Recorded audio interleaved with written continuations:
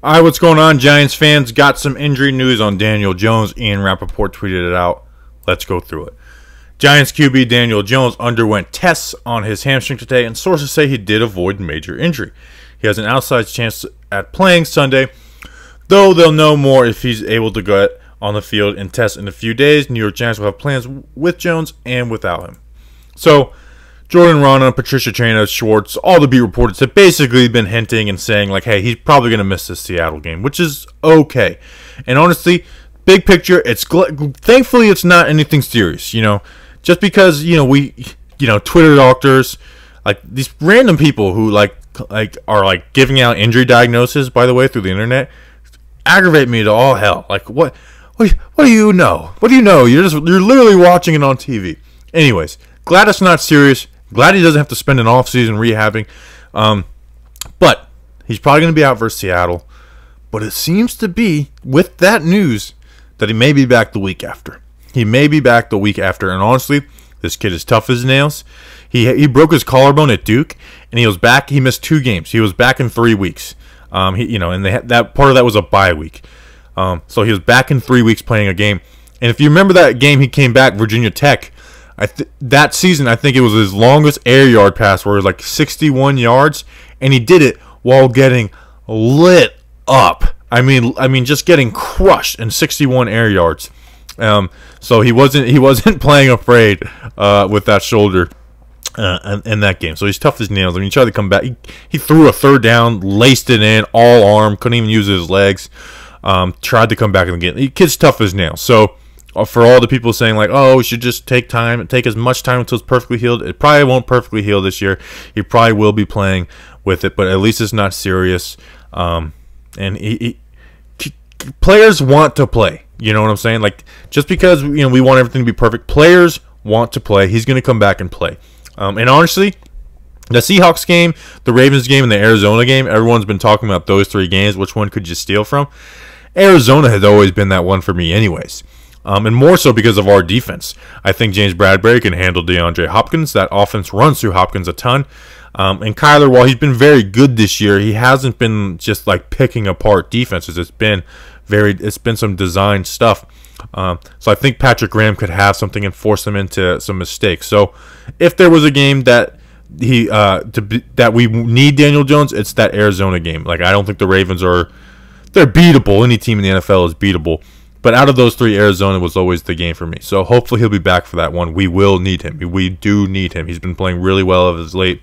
I mean, you'll see in the third down video, he has been excellent on third down this past, you know, four to six weeks, honestly.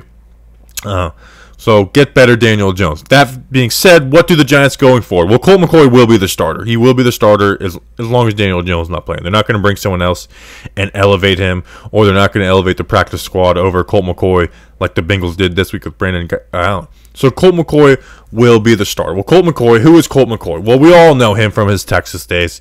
Um, quick synopsis of his NFL career.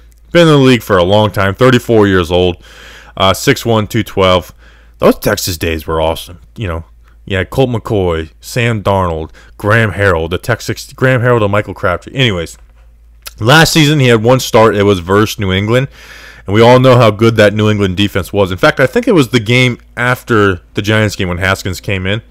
Uh, he went 18 for 27 in that game, 122 yards, zero touchdowns, one interception, six sacks. Not very good, but it is against a defense that you remember. Like Daniel Jones was the only QB to throw a touchdown versus the Patriots for like eight weeks or something like that. So it was against that team.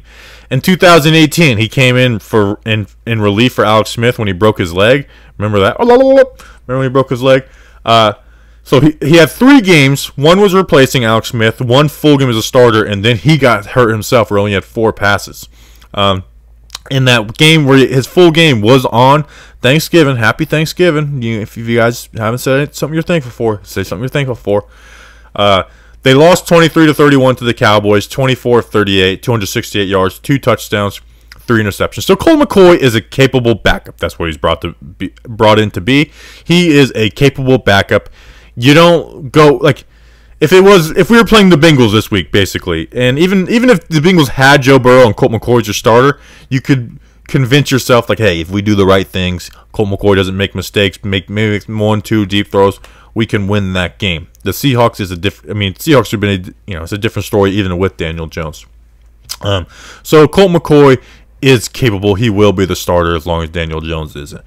Now behind that, on the practice squad, the Giants have Clayton Thorson, who was out of Northwestern, was a fifth round pick for the Eagles last year. In 2019, the Eagles took, uh, picked this guy in the fifth round. Um, I actually waiting for this news. I went and watched uh, Clayton Thorson's preseason game versus the Jets last year, where they lost zero to six, and he was horrible. I mean, he was 12 for 26, 84 yards, zero touchdowns, one interception, and his college numbers aren't that inspiring either. His last two years at Northwestern, he was uh, completed 60.7% of his passes, 6.5 yards per attempt, and then 32 touchdowns and 27 interceptions. Like the yards per attempt, like completion percentage, that kind of stuff can be like sometimes that doesn't tell the story, but 32 touchdowns and 27 interceptions is kind of weird. But also, I don't want to judge him by his stats. But I just you're not inspired him. And by the way, this is why you should never you should only I, and I people get at me for this, but I'm a big believer that you either draft a QB in the first round or you don't draft one at all. Because you sign backups. Backups get signed, not drafted. Colt McCoy, perfect example. He's signed. You, if you believe in a QB, you draft him the first round. If you don't believe he's worthy of the first round pick, he's not worthy of being drafted.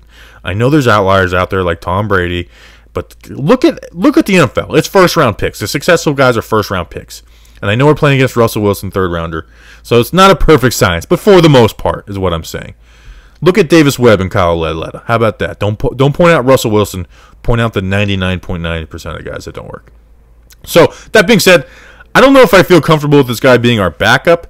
Um, the connection with the Giants and why he was brought into the Giants is he spent the practice squad of all 2019 with the Dallas Cowboys and Jason Garrett. That's why he's on the roster uh, because of Jason Garrett. Because uh, the Eagles cut him. The Eagles took a fifth round pick on, used him a fifth round pick on, and then cut him. So that's why he's on the team. I don't know if they if he's a capable backup. So who would that mean? Well, now because it's only one week, I don't expect him to sign anybody because that guy won't even really get in until like Thursday or Friday with the COVID rules. But why not bring back Alex Tanney? Like I, I would rather have Alex Tanney on the practice squad than this Clayton Thorson guy. What's the point of keeping Clayton Thorson around? I would rather have Alex Tanney.